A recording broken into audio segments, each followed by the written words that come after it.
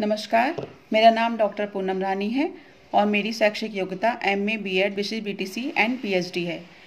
मुझे शिक्षा में पंद्रह वर्षों का अनुभव मेरा विद्यालय अमरोहा ज़िले में है। मेरे ज़िले की विशेषता यहाँ की विश्व प्रसिद्ध लकड़ी की ढोलक और कालीन है। मैं प्राथमिक विद्यालय खाईखड़ा खादर में प्रधान अध्यापिका के पद पर कार्यरत हूँ। मेरे विद्यालय में एक बच्चे नामांकित हैं और सभी ग्रामीण परिवेश से हैं।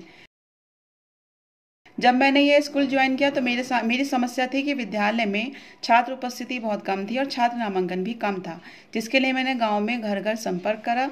अभिभावक संपर्क से मुझे ये बच्चों को, बच्चों की उपस्थिति शत प्रतिशत करने में सहायता मिली और छात्र नामांकन भी मेरे विद्यालय का बढ़ गया, जिसमें आज मेरे, वर्तमान में मेरे विद्यालय में एक छात्र छात्राएँ अध्ययनरत हैं। इसी, इस प्रकार मैंने अपनी इस समस्या का समाधान किया।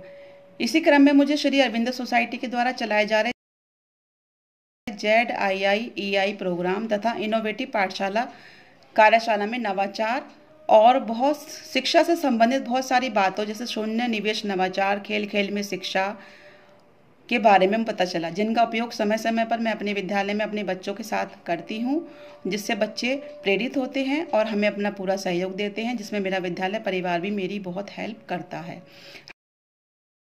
हमने अपने विद्यालय में रीडिंग कॉर्नर भी बनवाया है, जिसमें जो रंग कलरफुल पिक्चर होती हैं, उनको देखकर बच्चे उन्हें पढ़ने के लिए ललायित रहते हैं और कक्षा एक दो के बच्चे भी उन पुस्तकों को पढ़ना चाहते हैं।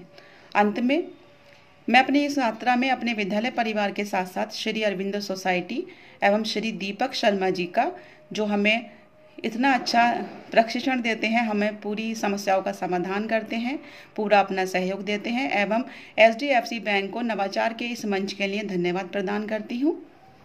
नमस्कार